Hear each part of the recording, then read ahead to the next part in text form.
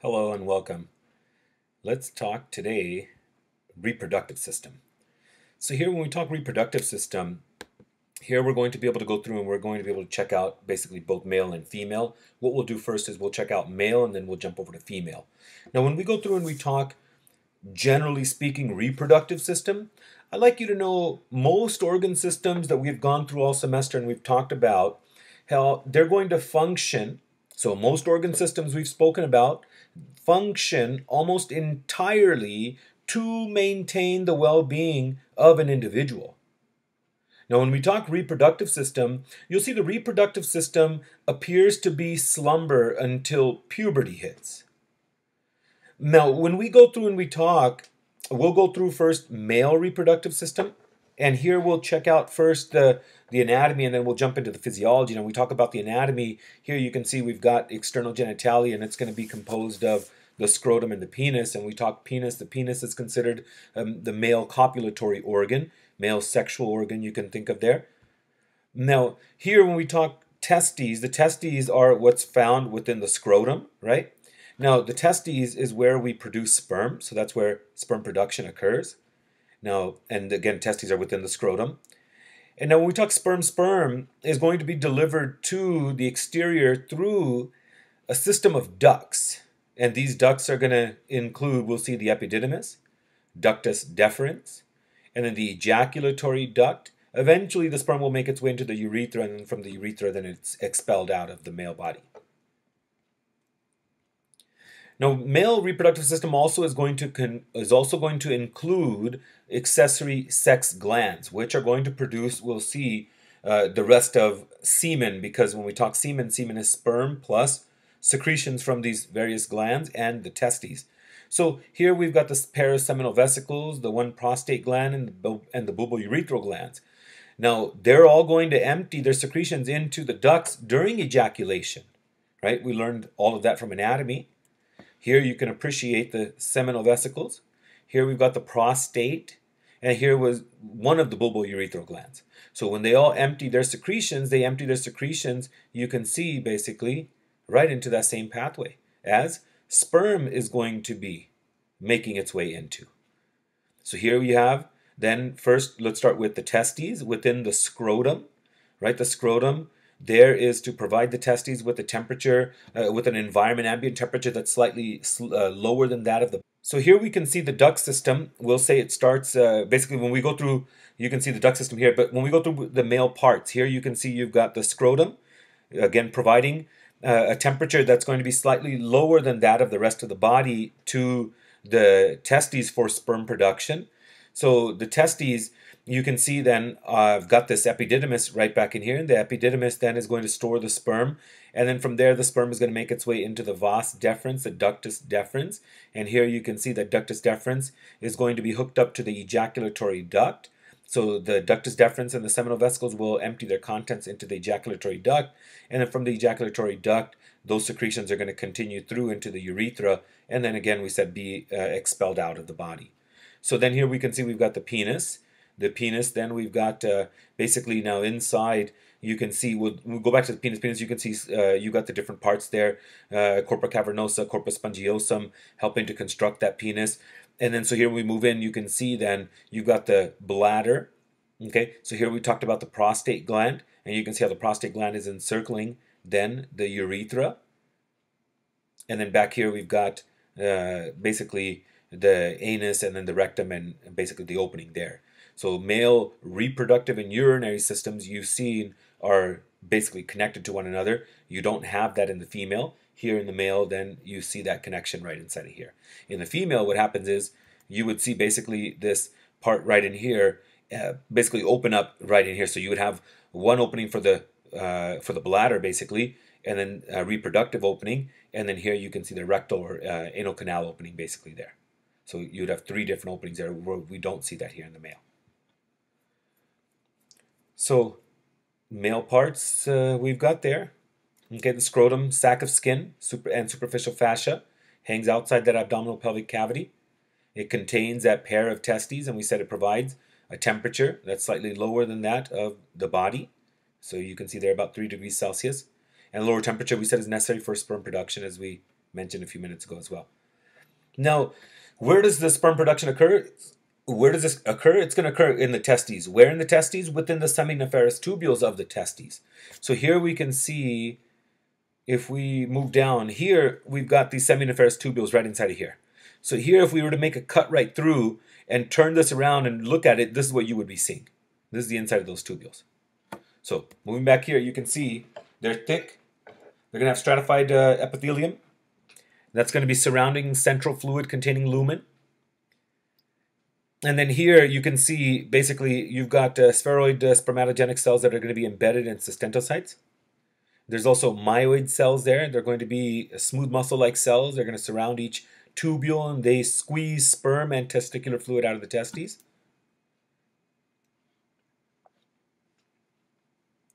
And then tubules from each lobule form the straight tubule. We'll go through, we'll look at all of that here in the next uh, image that we go through, we check out.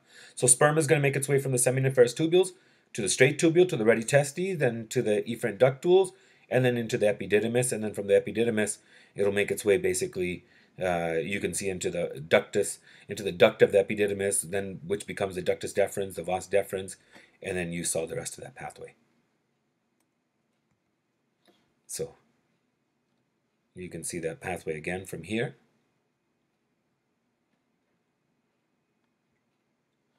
And then here we can see it with seminiferous tubules into then we said the straight tubule, right into the rete testes, and then here into the efferent ductule, and then into the epididymis. And here you can see how the head of the epididymis, you've got all these different segments.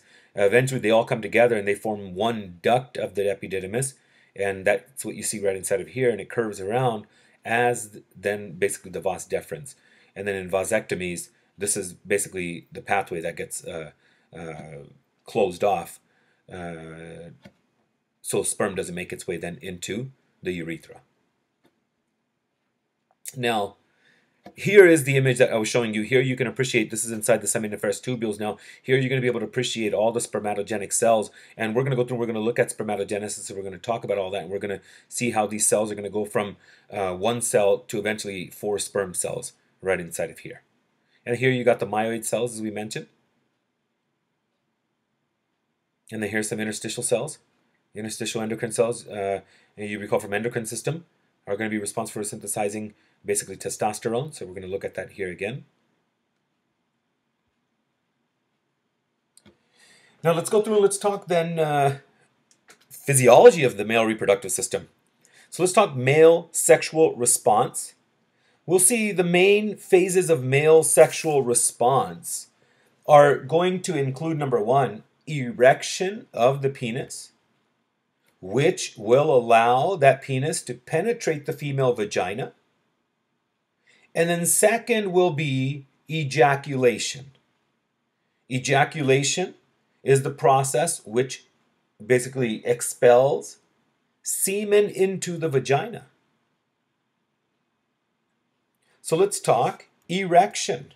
When we talk erection, Erection is basically an enlargement and a stiffening of the penis. It's an in, in, enlargement and stiffening of the penis, which results from the engorgement of the penis with blood. We'll see during sexual excitement a parasympathetic reflex is triggered.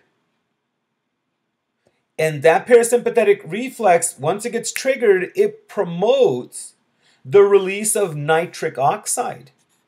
It promotes the release of nitric oxide. Nitric oxide causes the penile arterioles to dilate. And the erectile bodies fill with blood. Expansion of the corpora cavernosa of the penis compresses the drainage veins, not allowing that outflow and maintaining a voluminous amount of blood within the penis and an erection. So again, Arterioles there are normally constricted. Sexual excitement causes the central nervous system activation of parasympathetic neurons, which then lead to the release of nitric oxide, which causes, you could see, the smooth muscle to relax. The arterioles dilate, allowing more blood in, which also causes the corpora cavernosa we said to expand, which then diminishes the quantity of blood leaving, so it diminishes venous drainage, which leads to then that engorgement of erectile tissues with blood and an enlargement and stiffening then of the penis. So this is initiated by sexual stimuli, which could be touching, mechanical stimulation of the penis, or you can see erotic sights, sounds, and smells. And this process can be induced or it can be inhibited by emotions or higher mental activity. Next, then we talk ejaculation. Ejaculation is the propulsion of semen. It's the propulsion of semen from the male duct system. Although erection is under parasympathetic control, ejaculation is under sympathetic control. During ejaculation, a few events will take place. Number one, the bladder sphincter muscles constrict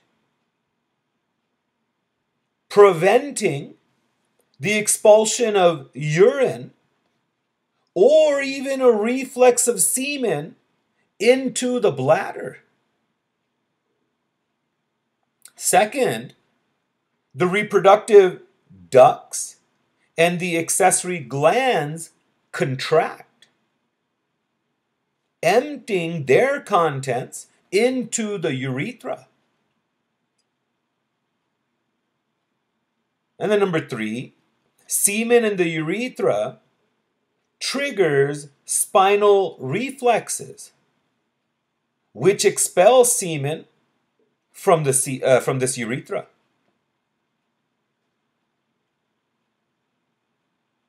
The ejaculatory event is climax or orgasm in the male.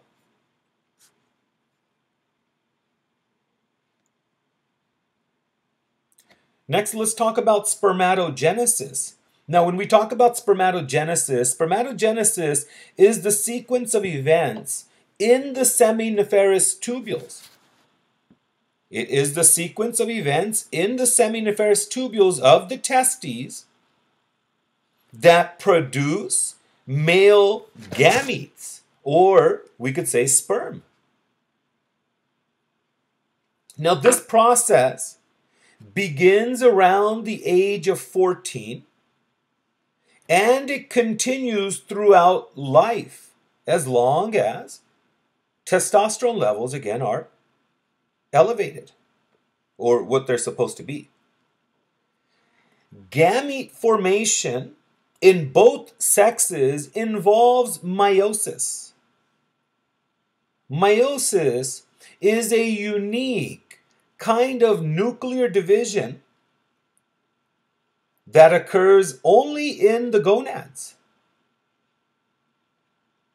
If you recall, mitosis, the process by which most body cells divide, mitosis distributes replicated chromosomes equally between two daughter cells. Meiosis, you will see, consists of two consecutive nuclear divisions that follow one round of DNA replication. So don't think DNA replication is going to happen two times too. No, no, no. That is only going to happen once because, right, if we talk about the cell cycle, okay, so here, right? We have, uh, let me see here. Because if we talk about the cell cycle, right, this is what's going on here.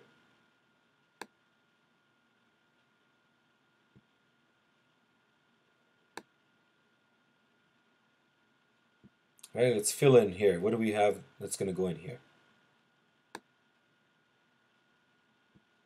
G1, S. What's happening here? This is where DNA replication is occurring. So the synthesis. And then here we have G,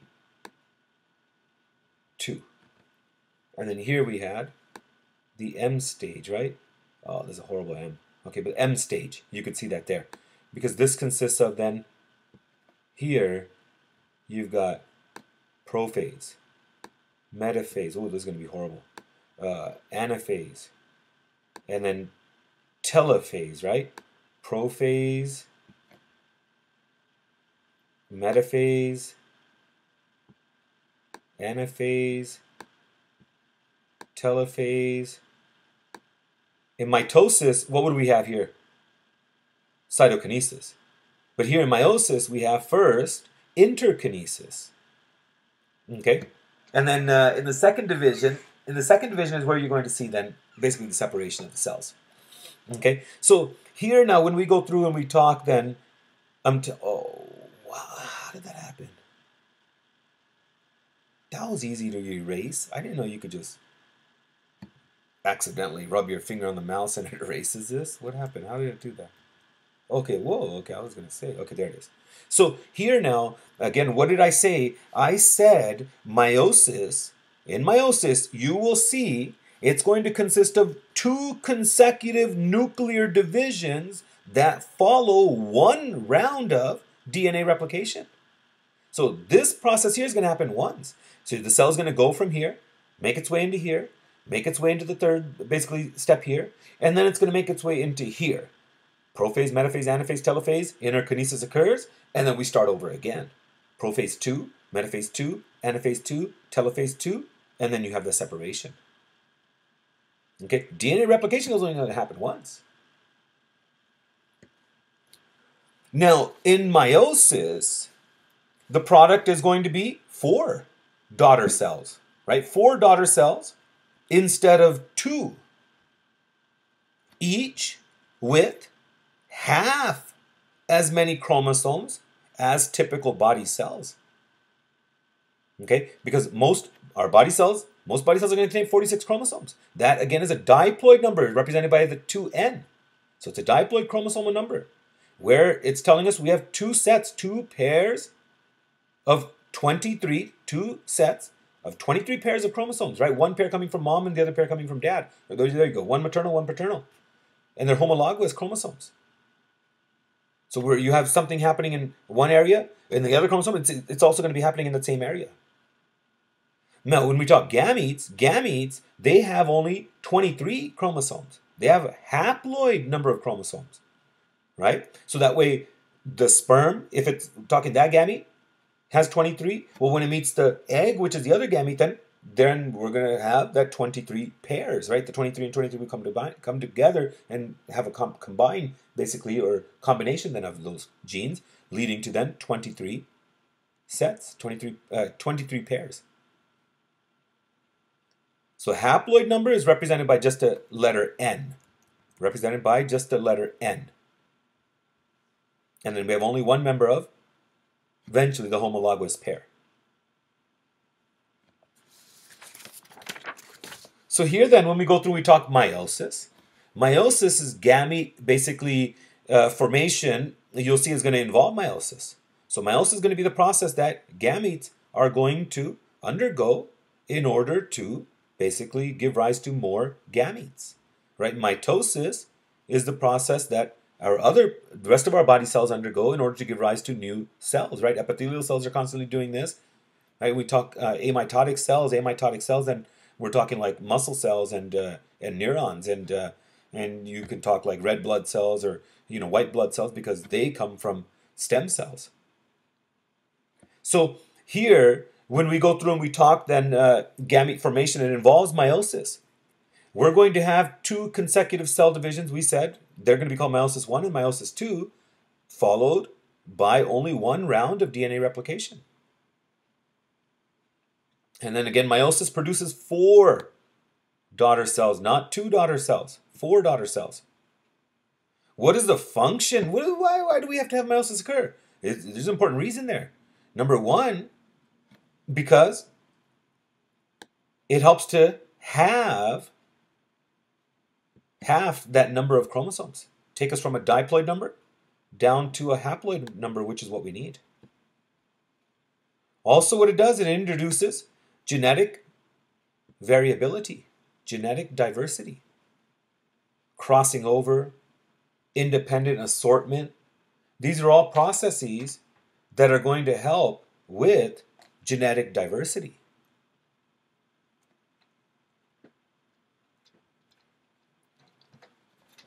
So random alignment of homologous pairs in meiosis 1, right? A random uh, assortment helps to introduce the variability of gametes. And then crossing over, I just mentioned, helps to introduce that variability of our, to our gametes. No two gametes are going to be exactly alike. All are different from the original mother cells as well.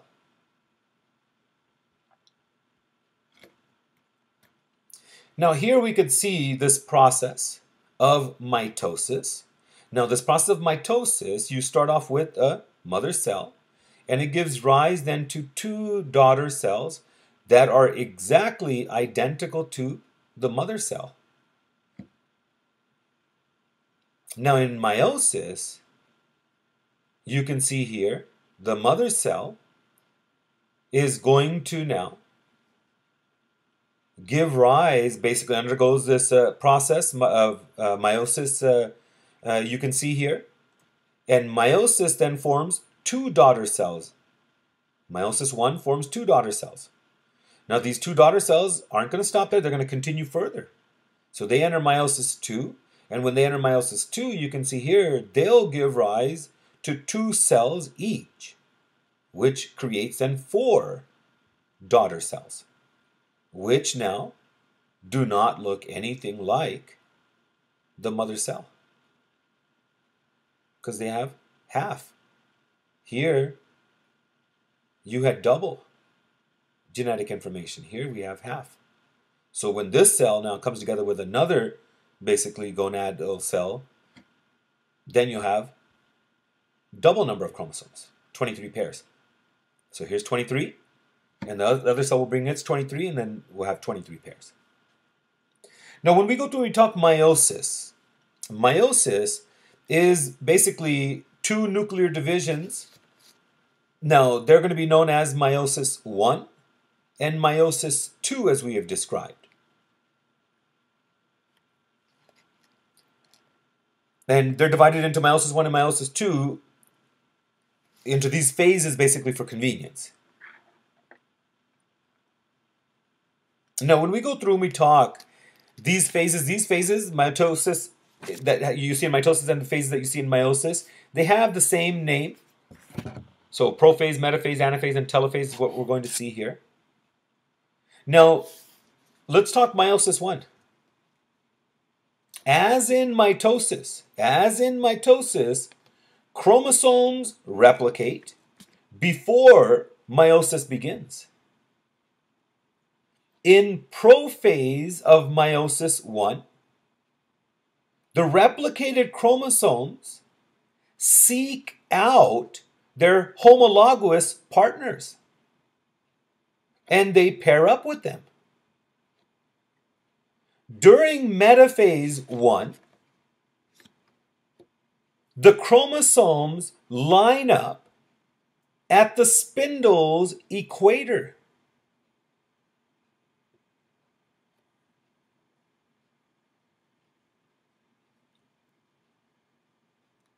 So again, in prophase of meiosis 1, the replicated chromosomes are going to seek out their homologous partners and pair up with them. And then during during metaphase 1, during metaphase 1, the chromosomes line up at the spindle's equator. just like you saw in mitosis, right? To get in even more detail, you would I want you guys to know exactly what is going to be happening in prophase one. You'll see nuclear defragmentation occurs, right? The nucleus starts to break apart, and when the nucleus starts to break apart, this is what's going to allow all that genetic information, those chromosomes, to basically make their way out, and then they could start uh, moving about the cell. And then in metaphase, you could see they'll start lighting up at that metaphase plate because the chromosomes are going to be lining up basically like we said uh, at that spindle's equator which is going to be the metaphase plate. Now when meiosis 1 ends so after metaphase then anaphase and then telophase right? In telophase what's going to happen? The nucleus is going to start to refragment. It starts to refragment and it starts to basically uh, contain then house all those chromosomes back inside. So here then when we talk meiosis 1 ending, each daughter cell then is going to have two copies of one member of each homologous pair and a haploid chromosomal number. Because the still united sister chromatids are considered a single chromosome. And then when we move into, so meiosis 1, you can see. Okay. When we move into meiosis 2, then, we move into meiosis 2, the second meiotic division, the sister chromatids in the two daughter cells of meiosis 1 the sec in the second meiotic division now the sister chromatids in the two daughter cells of meiosis 1 are divided into then four cells. Meiosis, we said, accomplishes two tasks. It reduces the chromosomal number in half. So it reduces the chromosomal number by half. And number two, we said it, it introduces genetic variability thanks to crossing over of the chromosomes. And also independent assortment. And independent assortment.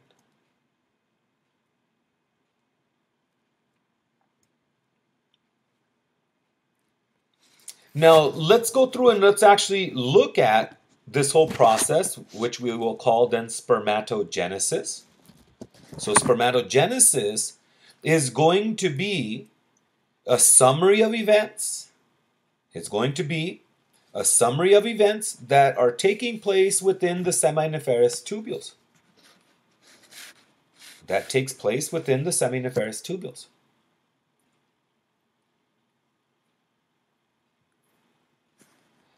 So, mitosis then of spermatogonia, now, first we'll look at. Now, when we talk forming spermatocytes. During puberty, the stem cells that are called spermatogonia, they are going to divide into two distinctive daughter cells, which we can see here. I like this picture because this picture is showing us in that uh, seminiferous tubule again. Okay, and here we have all those immature spermatogenic cells and then the closer they are to the lumen, you can see the more mature they are. And here, basically, those uh, more mature sperm, and they've got their flagella and they're ready to go. So what they're going to do is, if we come back into this picture, then as you can see here, once they've matured in the tubules, they'll start to swim through, and they'll start to swim into here, and they'll make their way up into here, and then into here, and then eventually all the way through, and they have to keep going. And the journey is not done here, right? When they, once they get introduced into the female reproductive tract, then they have to go and they have to find their directions all the way through and they have to make their way all the way to that egg. Right? The egg doesn't come all the way to it. The sperm has to go all the way to it.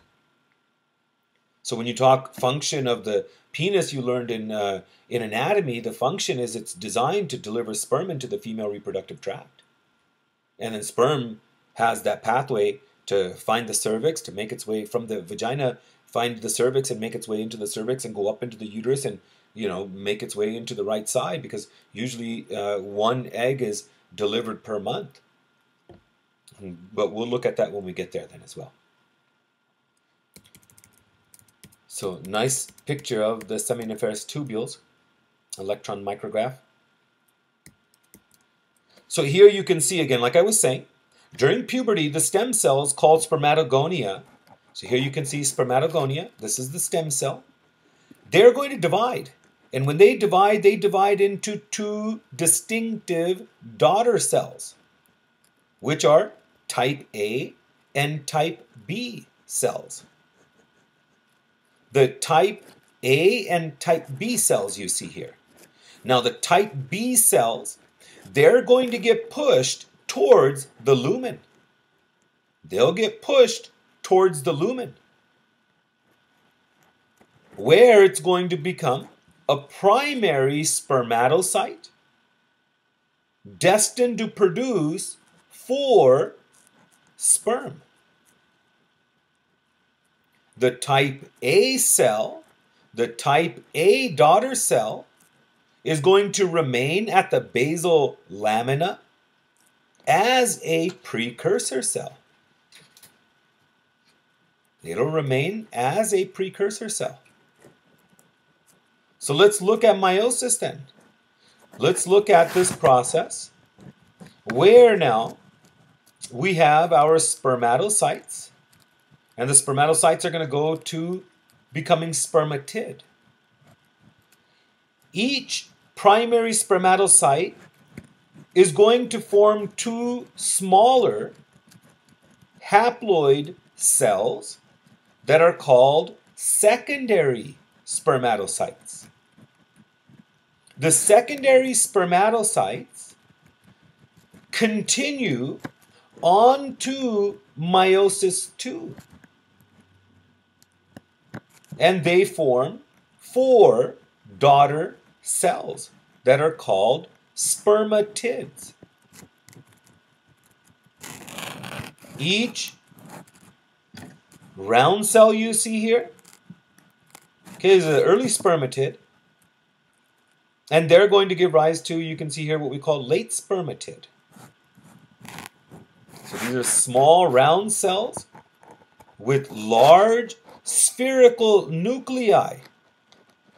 And they're seen closer now to the lumen of the tubule. Spermatid, early spermatid. Let's look at then what we call spermiogenesis, where we go from spermatid to sperm. Now, each spermatid has the correct chromosomal number for fertilization, which is the N number you can see there. But those cells are non-motile. They still must undergo a process called spermiogenesis, during which the sperm elongates and forms a tail.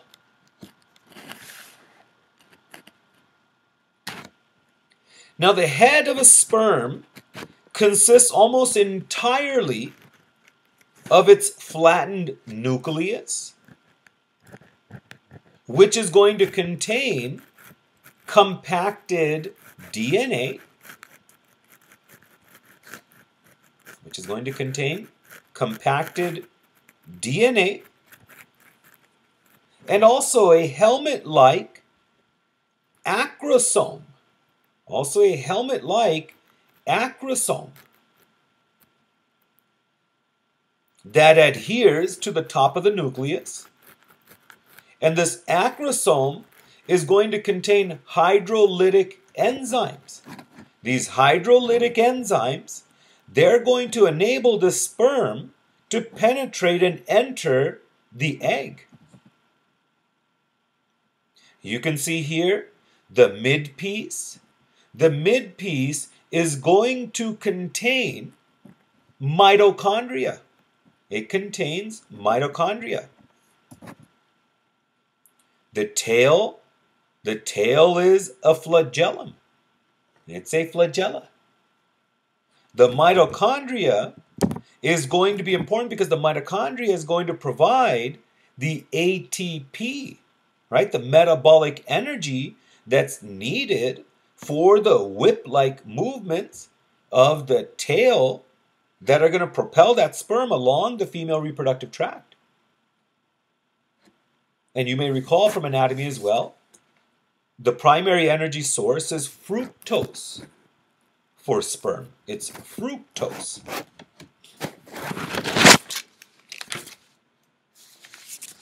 We also have here sustentocytes.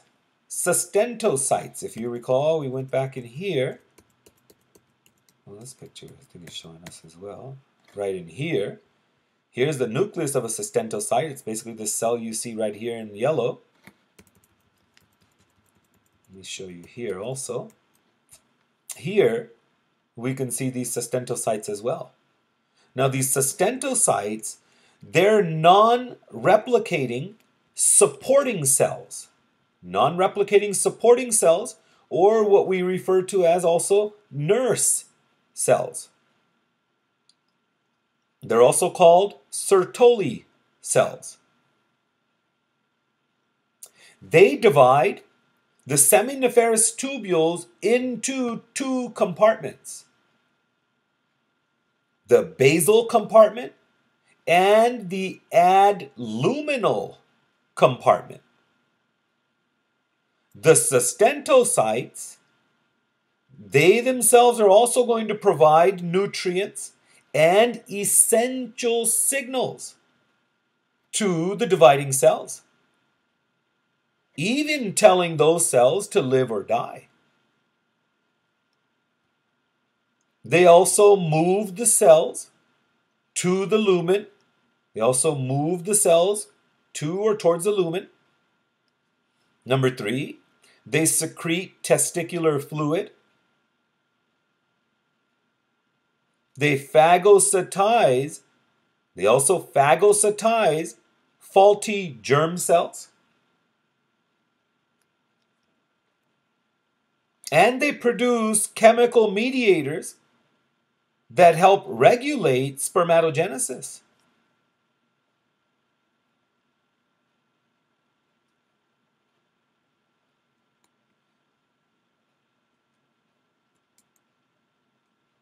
So the two compartments you can see there as well, we mentioned.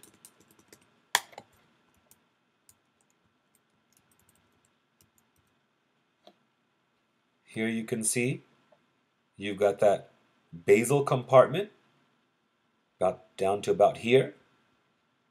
And the rest of it is going to be then the adluminal compartment. The adluminal compartment. Now, when we go through and we talk about the hormonal regulation, here we can see now, we can mention our endocrine component then. Now, when we talk about the endocrine component, now when we talk endocrine component, we can see the endocrine component now here. And when we go through this endocrine component, here we're going to look at basically the hormonal regulation of male reproductive uh, functions. So now here when we go through and we talk hormonal regulation of male reproductive function, hormonal interaction between the hypothalamus, the anterior pituitary gland, and the gonads is going to be observed here now very carefully. This is, we'll see a relationship that's called the hypothalamic pituitary gonadal axis just like we see right inside here. This is called the hypothalamic pituitary gonadal axis. Okay. And what it does, it regulates the act, it's going to regulate the production. It's going to regulate the production of gametes and sex hormones. Here we'll see it's going to be an interaction through basically three sets of hormones. First, GnRH, and then FSH and LH, and then we're going to see testosterone and inhibin. So here when we go through and we talk about this whole axis here, let's come to this picture here. Let's go through it and describe it here. So here you can appreciate hypothalamus, pituitary, and here we can see this is basically inside the testes, then here you've got your interstitial cells, right? And then here you can see your uh, uh, basically seminiferous tubules, and then here's that whole spermio, uh, spermatogenesis process. So here then, when we go through and we talk about the hypothalamic pituitary gonadal axis, the hypothalamus is responsible for releasing gonadotropin releasing hormone, GnRH. Gonadotropin releasing hormone, GnRH, is going to reach the anterior pituitary. And when it reaches the anterior pituitary, it's going to stimulate the release of, we'll see, gonadotropins there. GnRH controls the release of FSH, follicle stimulating hormone, and LH, luteinizing hormone. The binding of GnRH to pituitary cells signals them to secrete FSH and LH into the bloodstream. Now, FSH, okay, FSH stimulates spermatogenesis indirectly. FSH is going to stimulate spermatogenesis indirectly by stimulating Sertoli cells to release androgen binding protein, ABP, as we see here. ABP, androgen binding protein, keeps the concentration of testosterone high, which stimulates spermatogenesis. LH, LH binds to the interstitial endocrine cells. It binds to interstitial endocrine cells, which stimulates testosterone secretion, which stimulates the final trigger for spermatogenesis. Increasing testosterone also stimulates the maturation of sex organs, the development and the maintenance of secondary sex characteristics, sex drive, right? And all this during puberty. And rising levels of testosterone are also going to feed back. Rising levels of testosterone are also going to feed back. They feed back to inhibit GnRH's release.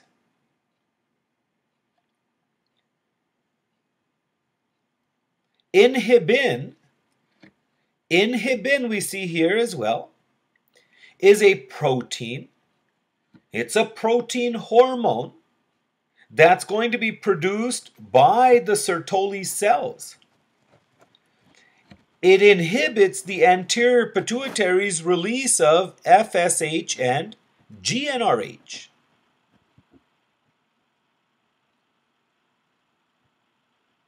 So going back, when we said increasing testosterone also stimulates the maturation of sex organs, the development and the maintenance of secondary sex characteristics, we said, and the sex drive and rising levels of testosterone are going to feed back.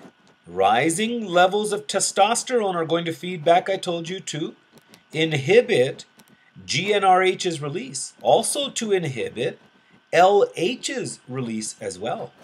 So you can see we not only stimulate GnRH to be inhibited, but we're also going to inhibit FSH and LH there as well.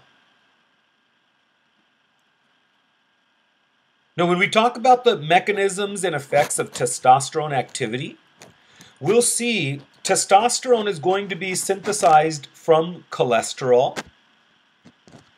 In some target cells, testosterone has to be transformed into another steroid in order to exert its effects. Like in the prostate, for example, testosterone is going to get converted to DHT, dihydrotestosterone, before it can exhibit its effects. That's kind of like insulin we saw. Or, I mean, uh, insulin like growth factors, right, in relation to growth hormone. So it's kind of like the same thing, right? Growth hormone itself didn't do it. It stimulated the cell, the cell, the tissue, and it generated IGFs, and then they actually caused the effect. So the same thing is going to be happening here with DHT. Now, at puberty, testosterone prompts spermatogenesis, but it also has multiple anabolic effects on the body. For example, muscle growth, skeletal growth, axillary and pubic hair growth, and so on.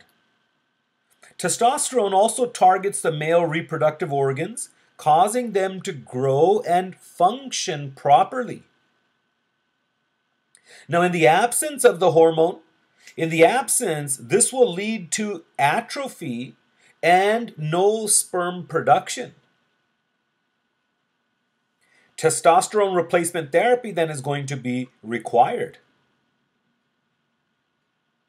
The adrenals also release androgens, right, as we have talked about in both sexes, so you got to remember that.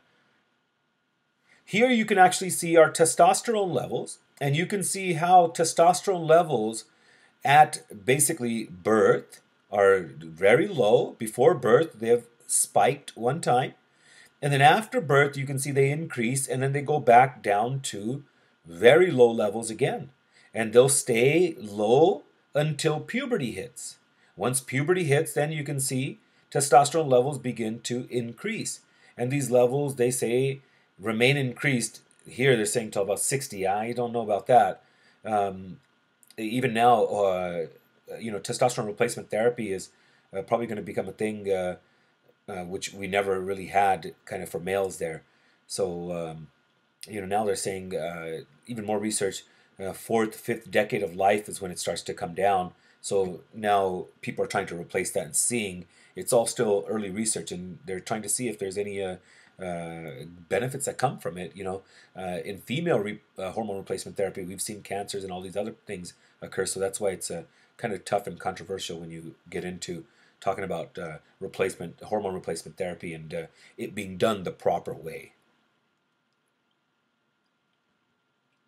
All right, next in here we have female reproductive anatomy. Then let's go through the female uh, reproductive parts. Now here when we go through the female reproductive parts, here we're going to be able to go through all these various parts. We've got the ovaries, the female gonads, right? They're going to be responsible for producing the gametes, the ova. And then also, just like we saw in the male, they're going to be producing sex hormones here. And the sex hormones here we're going to see now are going to be estrogen and progesterone.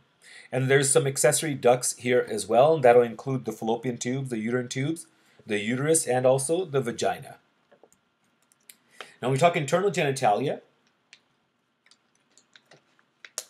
Excuse me, internal. We're talking now in the pelvic cavity. You've got ovaries there, the uterine tubes, the uterus, and the vagina. External genitalia will now be made up of the external sex organs. The external sex organs. Now, when we talk about the uterus, we're going to be able to appreciate the uterus. You've seen the uterus. It's a nice, hollow, thick-walled, muscular organ, and it's going to receive, retain, and nourish a fertilized ova, right? It looks like an upside-down uh, uh, pear. It's got a few parts to it as well, and we can go through and we'll check those out. So here you can see a nice uh, uh medial view, basically here, where you can actually appreciate all the different uh, uh, systems here. You've got urinary system in its own, and then here reproductive, right? In the male, we saw these two hooked up, and then here you've got uh, basically the end of the digestive. So here then you can appreciate the vagina. This is where then the sperm is going to be uh, basically left off and it has to make its way into the cervix and uh, then it has to make its way up. So here's the cervix and here you can see the uterus, the rest of the uterus, and then here we've got the fallopian tubes and here's the ovaries on both sides.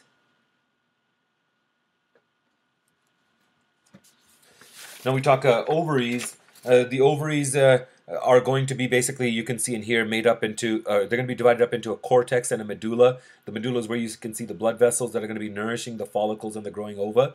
That's going to be in the cortex, right? So here you can see those follicles in various stages of growth, and then here ovulation takes place. Uh, about 14 days mid-cycle. I know cycle is not exactly a 28-day cycle. It can vary.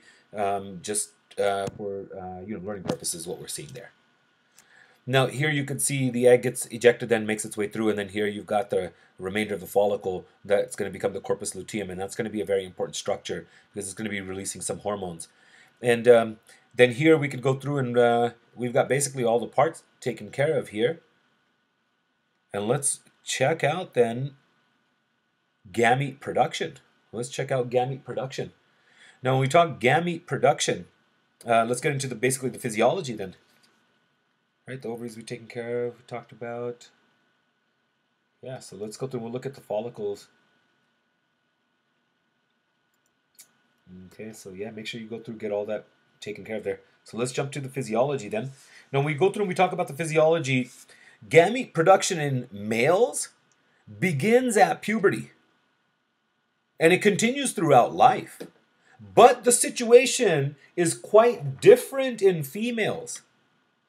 It's assumed that a female's total supply of eggs is already determined by the time she is born. And the time span during which she releases them extends from puberty to menopause. Extends from puberty to menopause, which is around 50 years of age. Let's look at now oogenesis here. So before in the male we saw spermatogenesis. So here we're going to refer to it as oogenesis. Now, meiosis the specialized nuclear division that occurs in the testes to produce sperm also occurs in the ovaries. In this case, it produces female sex cells in a process that we call oogenesis. This process of oogenesis, it takes years to complete. First, in the fetal period, oogonia, the diploid stem cells of the ovaries, the oogonia, which are the stem cells of the ovaries, are going to multiply rapidly by mitosis.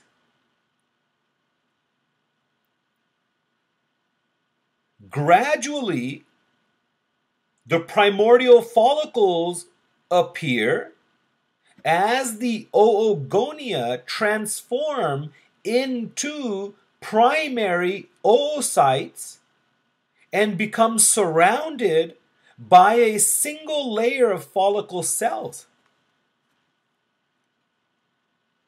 So here we're going to be able to go through and look at that whole process. The primary oocytes, they begin the first meiotic division.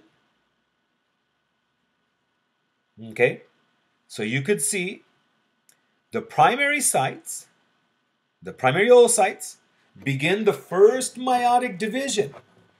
But those primary oocytes pause, or we say they become stalled in prophase 1 and do not complete it. So this is all in the fetal period. This is before birth. By birth, the female is presumed to have, we said, her lifetime supply of primary oocytes.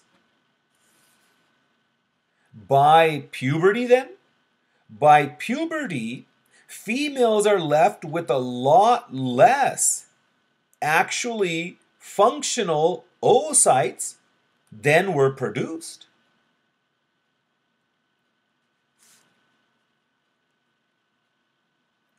Now, when we look at oogenesis after puberty, okay, so let's start, or we look at it from puberty, so let's start at puberty. Beginning at puberty, FSH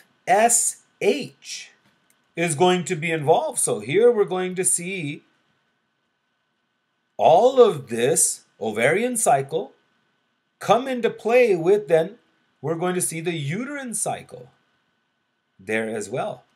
And all of this is all hooked up to those hormones.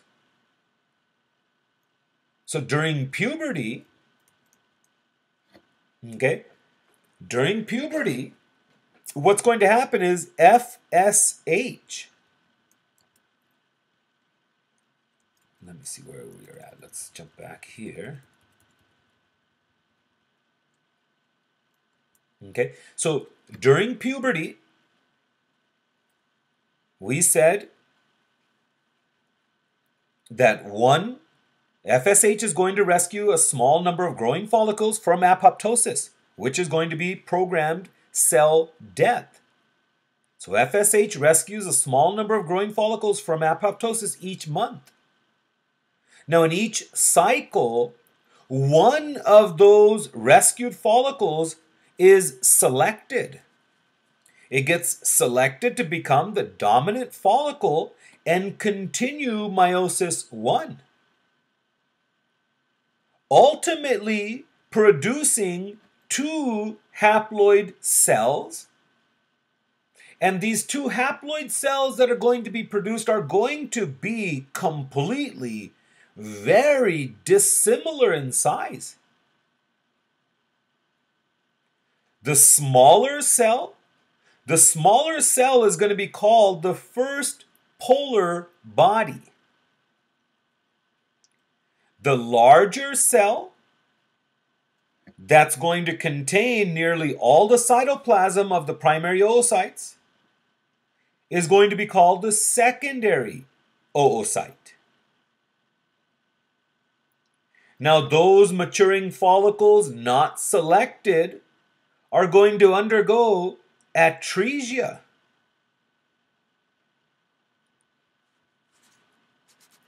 The events of this first maturation division are going to ensure that the polar bodies receive almost no cytoplasm or organelles. So here you can see that happening. Here you can see a spindle form at the very edge. And the polar body chromosomes are going to be cast right into it. Now, this first polar body, it may continue its development and undergo meiosis II. And if it does, it's going to produce two even smaller polar bodies. In humans, in humans, the secondary oocyte. In humans, the secondary oocyte arrests in metaphase 2. It will arrest then in metaphase 2 when we talk about this whole process, uh, oogenesis, I forgot to mention to you guys, I like to describe it kind of like my wife when we're going to go to a wedding. Make sure she's not here. Now, here what happens is we know a year in advance, right? We get the wedding card a year in advance. They usually have got their venue rented out. They know who's going to be the DJ, and they've got most of their, you know, people got some of that stuff planned out. And, you know, she'll see the card. Oh, yeah. Oh, I know what I'm going to wear oh, I know what I'm gonna, you know, how my hair is gonna be. A year in advance is what she'll say. But do you think that day she's ready? Nope, nope, nope. I'm sitting outside honking the horn. Let's go, let's go, let's go, let's go, let's go. Okay, it's kind of similar to what we're seeing here. Look in the male how spermatogenesis is so easy. Puberty hits, boom, GnRH comes down, FSH, LH, everything is ready to go. Here, started in the fetal stage, arrested, pause. Started up again, arrested, pause.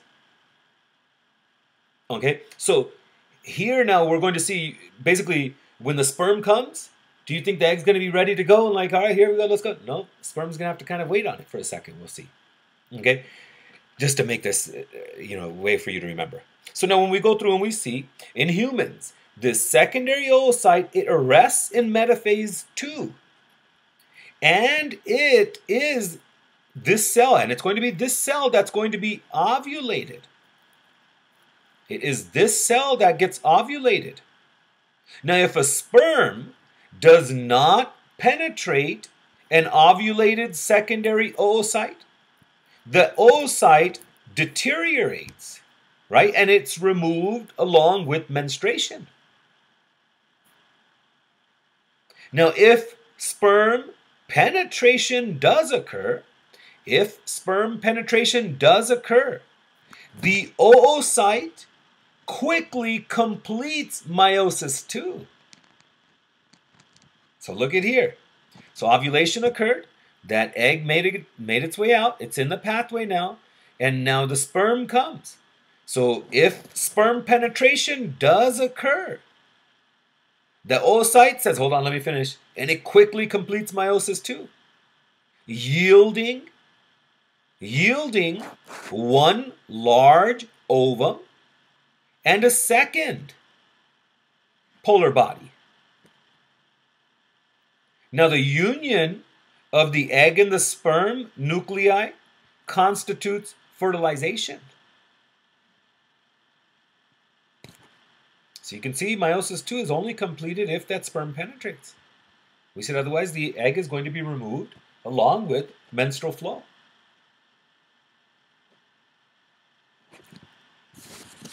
So now when we compare oogenesis and spermatogenesis, the potential end product of oogenesis are three tiny polar bodies. And they're devoid of cytoplasm and one large ovum. Only the ovum, only this ovum is going to be a functional gamete. And this is different from spermatogenesis, right? Where the product is four viable gametes.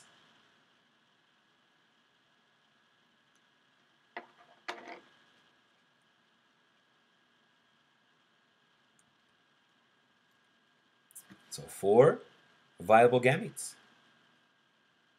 In spermatogenesis, the error rate is anywhere from 3 to 4%. In oogenesis, one viable gamete, three polar bodies.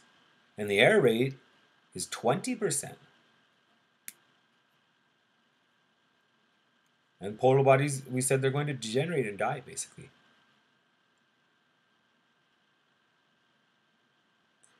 Let's move on then to the ovarian cycle.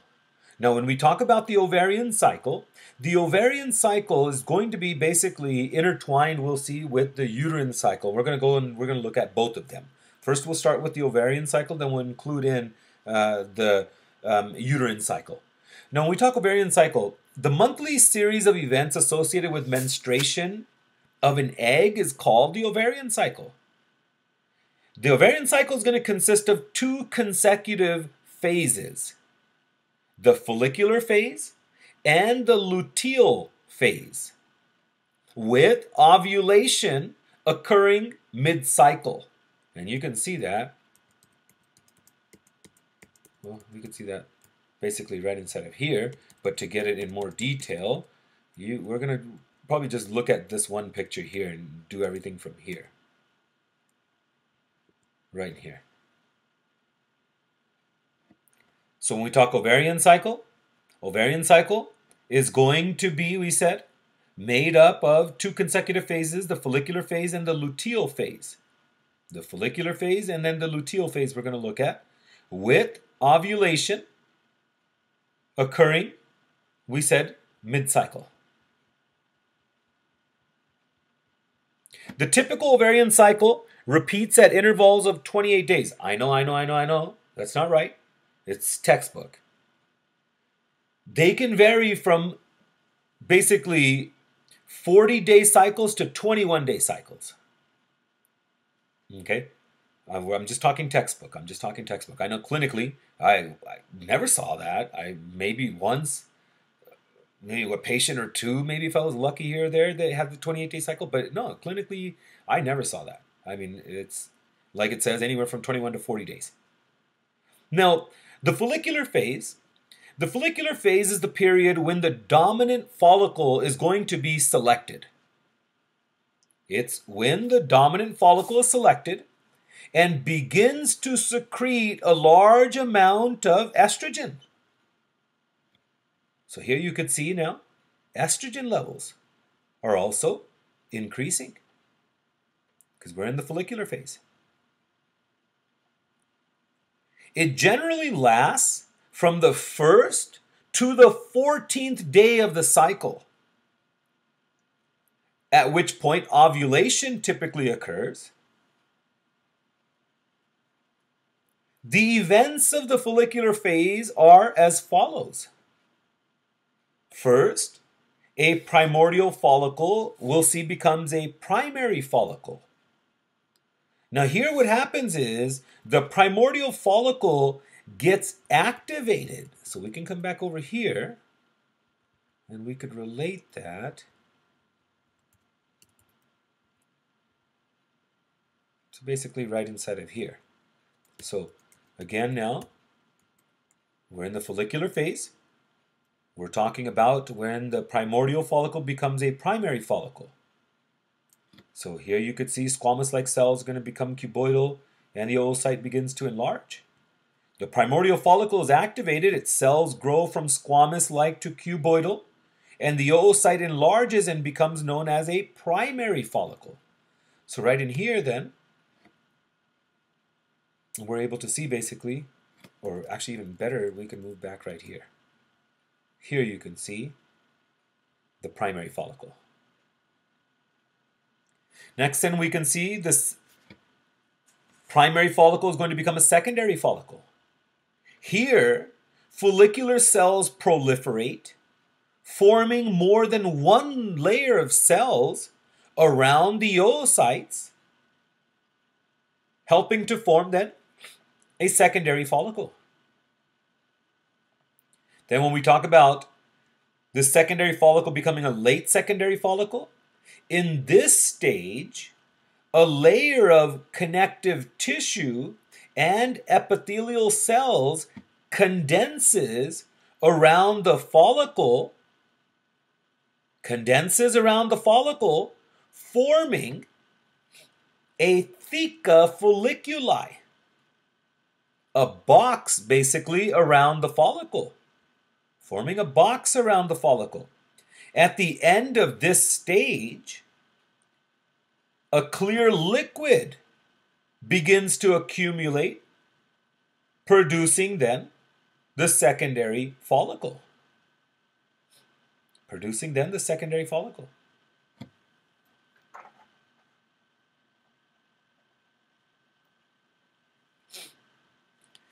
Next, then we have the stage where the late secondary follicle becomes a vesicular or an antral follicle, as we see here now.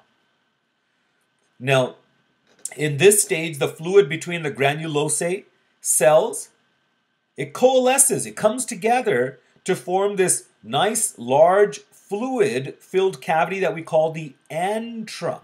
The antrum. Now, once the follicle matures, that stage is going to be set then for ovulation. Now, when we talk ovulation, ovulation occurs when the ballooning ovary wall ruptures. You can see that ballooning ovary wall ruptures and expels the secondary oocyte. The follicle is at peak stage of maturation when the hormonal LH stimulus is given for ovulation. FSH levels are also increased. And FSH, I want you to know, plays a role in selecting the dominant follicle.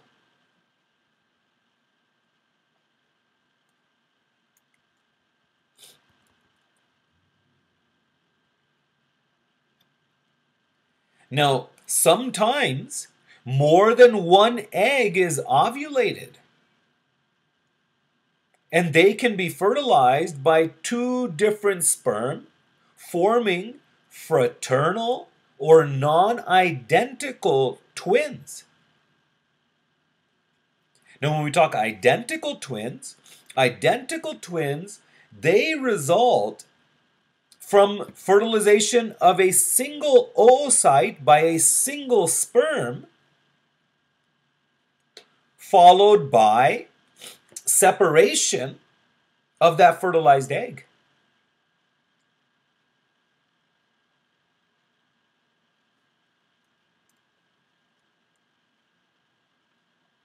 Next, then we have ovulation occur. So when ovulation occurs, the ovary wall ruptures. This is, is going to expel that secondary oocyte we said. And then also we can see what's going to happen is pain. Pain is going to also be felt at ovulation. And that pain there is basically, you can see, known as Mittelschmerz. It's basically the pain that's sometimes felt at ovulation. And 1 to 2% of ovulations release more than one secondary oocyte, which then, if, if fertilized, 1 to 2% of ovulations release more than one secondary oocyte, which, if fertilized, results in fraternal twins, as we mentioned.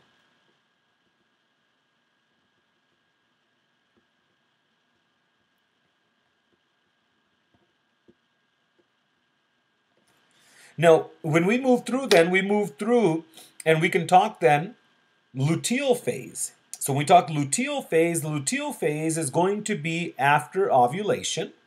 So now, after ovulation, the ruptured follicle collapses, and the antrum fills with blood and it gets absorbed. Granulosa cells are going to form a corpus luteum, which then is going to be important because it's going to secrete progesterone and estrogen. Now, if pregnancy does not occur, the corpus luteum will degenerate.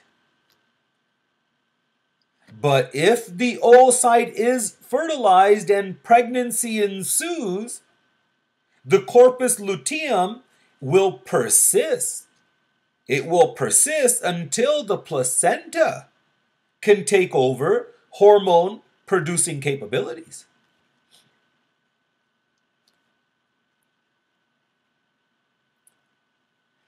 So let's move on then to you can see now establishing the ovarian cycle. Now, during childhood, the ovaries grow and they secrete small amounts of estrogens that inhibit hypothalamic release of GnRH. But then, as puberty nears, GnRH is released. GnRH, the pituitary gonadotropins, the ovarian estrogen and progesterone are all going to interact. They're going to interact to produce cyclic changes in the ovaries. Now, in females, leptin, which comes from fatty tissues, plays a role in stimulating the hypothalamus to release GnRH.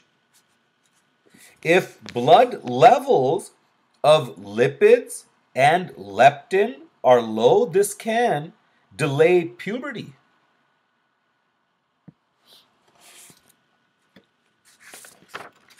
Now, when we talk establishing the ovarian cycle, as puberty begins, GnRH stimulates the anterior pituitary to release FSH and LH, which will signal the ovaries to secrete hormones, primarily estrogens. Now, when a young female has her first menstrual period, it's referred to as menarche. It's referred to as menarche. Now, when we look at the hormonal interaction during the ovarian cycle, so we said GnRH secreted by the hypothalamus is going to stimulate, it will stimulate, okay, so here we could see GnRH from this hypothalamus stimulates FSH and LH. FSH and LH, they stimulate the follicles basically to grow. FSH and LH stimulate the follicle to grow, to mature, and to secrete sex hormones. FSH will exert its effects on granulosa cells, causing them to release estrogens. LH will cause thecal cells to produce androgens that are going to get converted eventually to estrogen.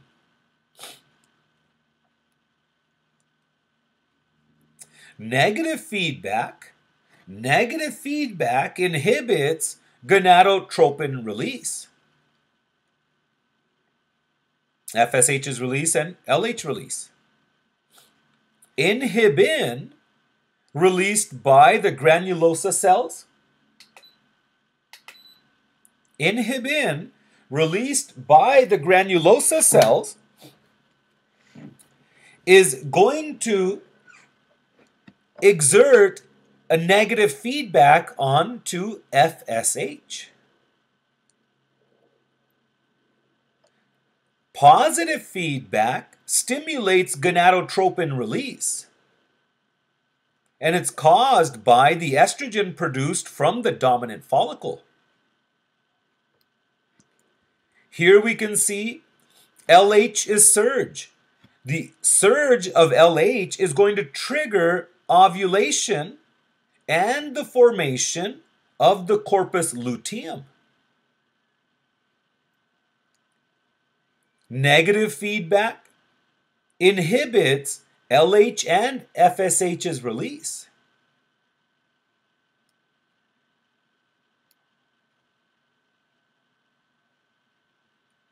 So now here, when we intertwine everything with the uterine cycle and the menstrual cycle, you can see, here we'll go through, you can see the uterus is going to be receptive only eh, to implantation for a short period.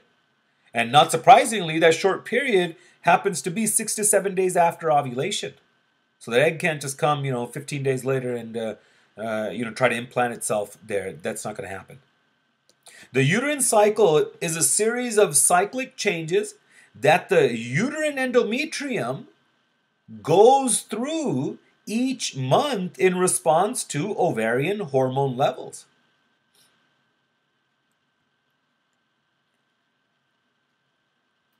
Days 1 through 5 are considered the menstrual phase. In this phase, the uterus sheds all but its deepest layer. This is a process that is accompanied by bleeding for three to five days.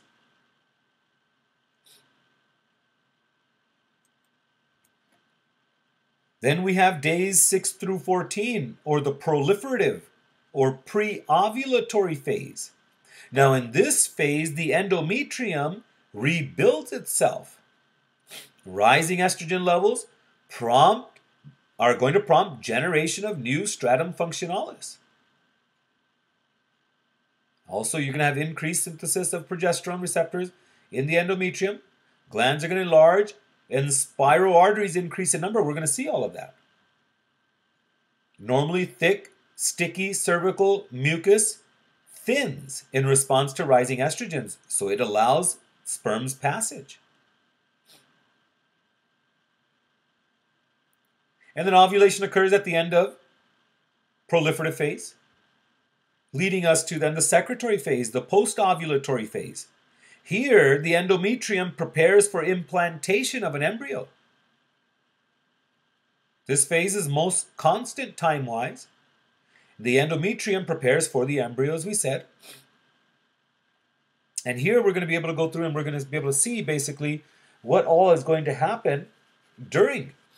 Now, this phase here in relation to the thickness of that uterus, you can see. So let's actually put everything together. So here you can see now the uh, rising levels of LH and FSH. LH, we said, is going to trigger ovulation. FSH is important in selecting the dominant, dominant follicle. And as that follicle is growing, you can see it gets estrogen levels to increase. Now here, right before ovulation, so pre-ovulatory phase you can see here. Here we saw now the endometrium thickening after menstrual flow had occurred, menstruation had occurred. You can see now the thickness here. Here's the stratum basale, and the stratum functionalis is a lighter pink in top, like the uh, peach color. So here you can see how even that layer begins to thicken, and look at these spiral arteries, okay, and basically glands all starting to form inside of here as well. So then we move from ovulation into then the luteal phase. So here then in the luteal phase, you can see that thickness now in the quantity of blood vessels and glands. So the endometrium, as we said, is preparing for implantation of an embryo.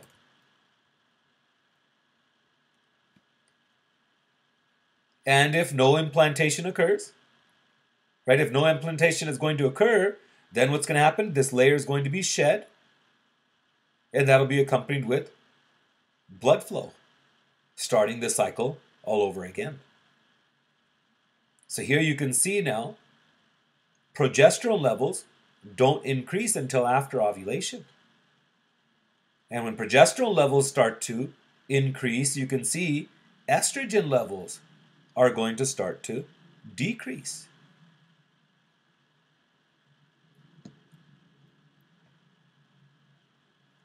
And along with that, right, you can see everything that's happening, as we explained before, with the follicle and the egg and then the corpus luteum.